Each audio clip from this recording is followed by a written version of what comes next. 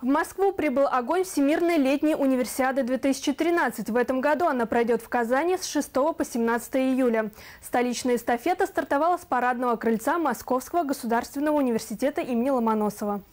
Начал свой путь огонь универсиады в прошлом году в Париже. Его зажгли в университете Сорбона, где в 1923 году прошли первые международные студенческие спортивные игры. Впервые в истории огонь совершил кругосветное путешествие на борту крупнейшего в мире барка – парусного судна «Седов».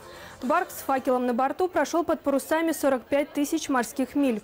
25 января, в День российского студенчества, огонь сошел на берег нашей страны.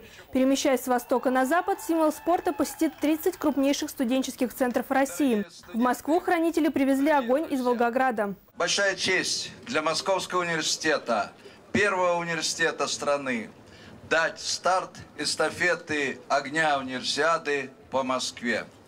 Старт у главного здания – старт у здания, которое является символом образования, символом студенчества в мире. Факелоносцами эстафеты универсиады станут 2013 человек, из них московских 40, многократные олимпийские чемпионы и чемпионы мира, звезды шоу-бизнеса и лучшие студенты. Первым, кто удостоился чести нести огонь, стал знаменитый советский и российский конькобежец, олимпийский чемпион Николай Гуляев. Завершится эстафета в Олимпийском комплексе Лужники на престижной аллее рядом с памятником Хуану Антонису Самаранчу. Затем огонь универсиады отправится в Пермь.